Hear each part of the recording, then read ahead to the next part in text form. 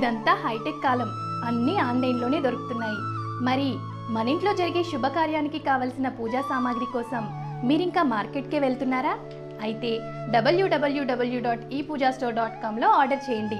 మరిన్ని వివరాలకి సంప్రదించండి. Eight zero nine six eight three eight three eight three. Mithun రాశి వారికి ఈ వారం చాలా అనుకూలంగా ఉంది. ఆర్థికపరమైన విషయాలు బాగున్నాయి. వృత్తి ఉద్యోగాల పరంగా మీ స్థాయి మీ స్థానం పెరుగుతుంది. బాధ్యతలు పెరుగుతాయి. ఇన్నాళ్ళు రానటువంటి అవకాశం వచ్చినందుకు ఎంతగానో సంతోషిస్తారు. దాన్ని నిలబెట్టుకోవడానికి విశేషంగా కృషి చేస్తారు.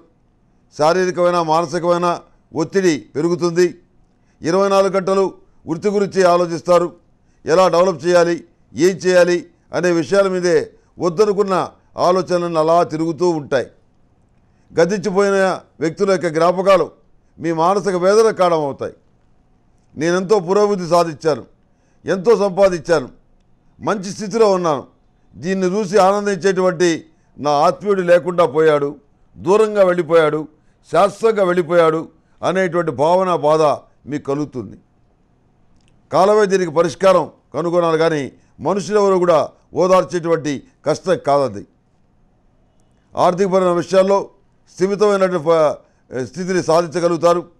ఎక్కడ కూడా ఎవరికి రూపాయి బాకీ లేనటువంటి పరిస్థితి ఏర్పరచుకుంటారు.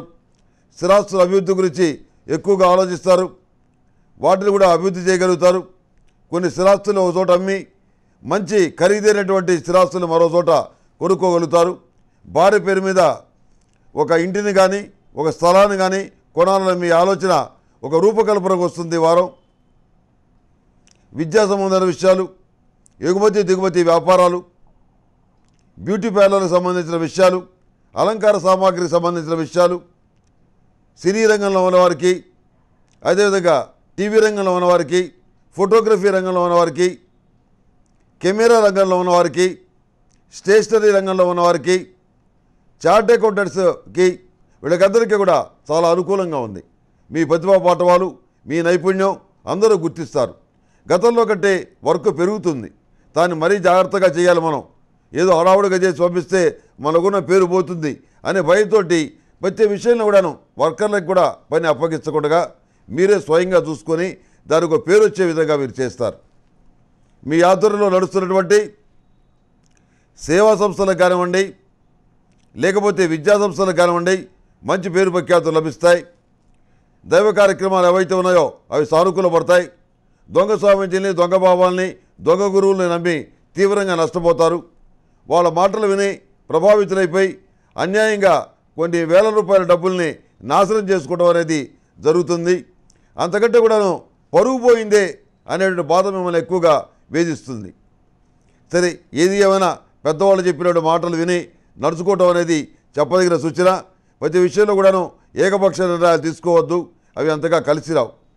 మీ ఆత్మీయులు మీ సన్నిహితులు మీ తల్లిదండ్రులు లేదా మీ ఇంట్లో ఉన్న పెద్దలు వాళ్ళతో చెప్పి ఈ చెయ్యాలనుకుంటాను మంచా చెడా అని వాళ్ళకు మాట చెప్పి వాళ్ళ అనుభవం రీత్యా వాళ్ళు చెప్పినటువంటి సలహాను మీరు స్వీకరించి మీరు ఆ కార్యక్రమాలు చేస్తే సానుకూలమైన మంచి ఫలితాలు సంప్రాప్తిస్తాయి. సమాజంలో గొప్ప వ్యక్తిగా పేరున్న మీకు మరింత గొప్ప వ్యక్తిగా మీ యొక్క క్రెడిబిలిటీ మీ యొక్క గుడ్విల్లు పెరిగే పరిస్థితి గోచరిస్తుంది. ఏది ఏమైనా అదృష్టాన్ని మీరు ఎక్కువగా నమ్ముకోరు. దేవుడి మీదనే భారవేస్తారు దివారాత్రాలు కష్టపడి సానుకూల ఫలితాలు సాధిస్తారు. సన్నిహితులైనటువంటి వారికి స్నేహితులకి భాగస్వాములకి తగినటువంటి న్యాయం చేస్తారు. అంతేగాని మీరొక్కళ్ళే పొట్ట నిండా తిని మిగతా వాళ్ళకి రూపాయి పెట్టని పరిస్థితి మీరు చెయ్యరు. నలుగురికి పెట్టి మీరు తింటారు. దాన్ని అమృత భోజీ అంటారు. నలుగురికి పెట్టి తినేవాడిని అమృత భోజి అంటారు. ఎవరికి పెట్టకూడగా ఒక్కడే తినేవాడిని మృతభోజి అంటాడు. మృతభోజి. అసలు దాని విలువ లేదు. కనుక ఎక్కడ మనం ధర్మంగా ప్రవర్తించాలి ఎక్కడ మనం న్యాయంగా ప్రవర్తించాలి అనే విషయాలు స్పష్టంగా తెలుసుకుంటారు. కొంత సంతానంలో ధిక్కారణ ధోరణి ఏర్పడుతుంది. ప్రశాంతంగా ఆలోచించి నిదానంగా చెబుదాం అనే పద్ధతిలో మీరు నడుచుకుంటారు. వివాహాది శుభకార్యాల విషయంలో మీరు అనుకున్న వ్యూహం కూడా ఫలిస్తుంది. ఈ రాశిలో జన్మించిన వారికి లైట్ గ్రీన్ కలర్ బాగుంటుంది. అదృష్ట సంఖ్య ఏడు. ఏదైనా పని మీద బయటికి వెళ్ళేటప్పుడు శుక్రవారం కానీ గురువారం కానీ బయలుదేరి వెళ్ళండి.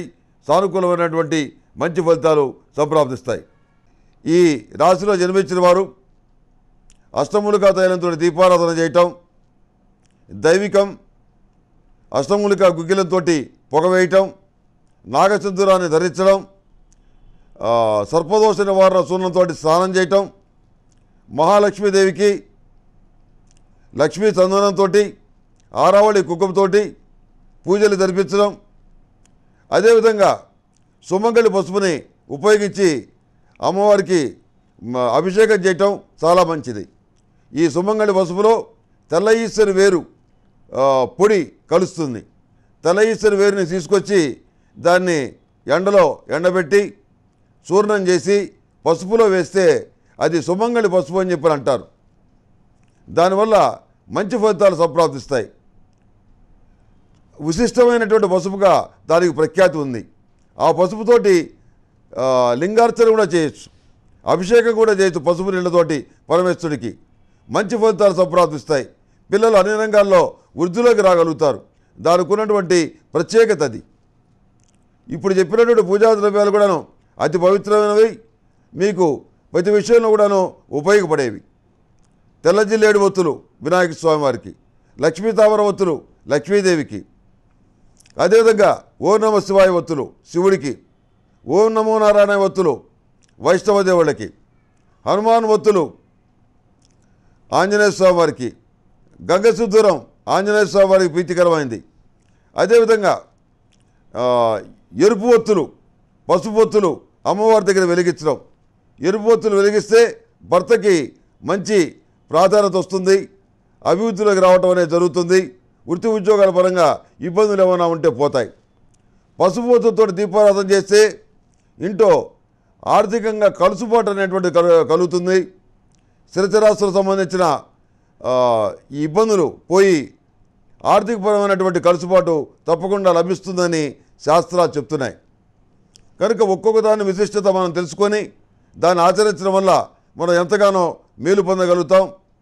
ప్రతి ఒక్కళ్ళు కూడాను లక్షలు వేలు ఖర్చు పెట్టి ఎకరయాగాది ఖర్చులు చేయలేరు. అది అందరి వల్ల సాధ్యపడే పని కాదు.